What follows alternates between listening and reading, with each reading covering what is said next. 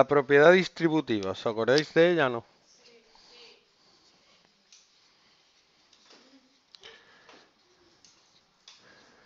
¿Cómo era?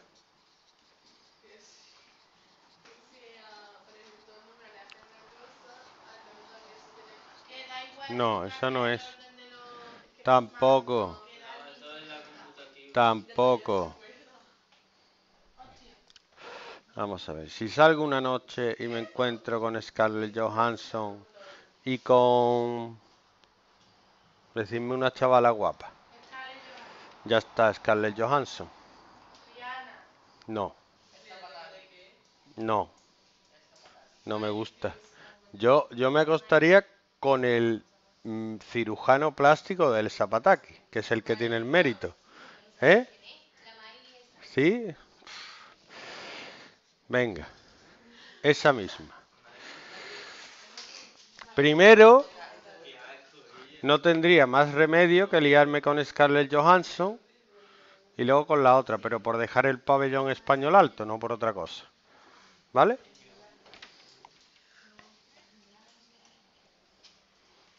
Ojo, si yo tengo que hacer 2 por 5 más 3 sería ¿Cuánto sería?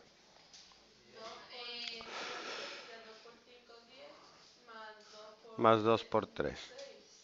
Que esto sería 10 más 6, 16. Esto lo puedo hacer cuando hay números, pero cuando no hay números, ¿qué hago?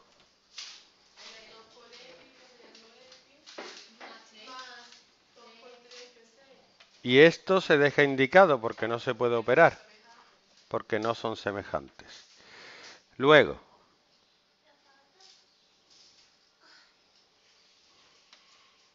si pongo 3x por x menos 2, esto sería 3x por x menos 3x por 2. ¿Cuánto es 3x por x? ¿Cuánto es 3x por x? 3x cuadrado. 4x por qué? Eso sería 3x más x. Y menos 3x por 2, ¿cuánto es? 3 por 2, x. Y la de aquí no te la puedes dejar.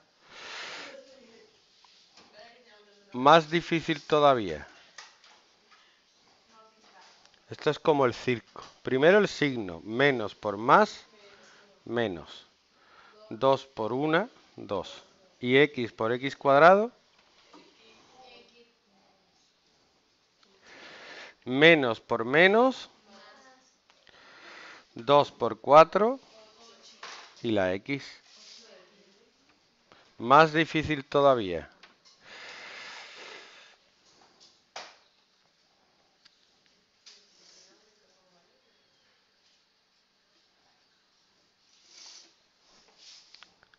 4 por x cuadrado por x, ¿cuánto es?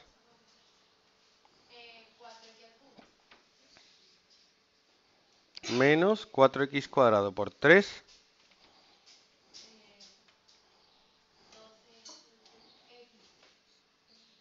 X no.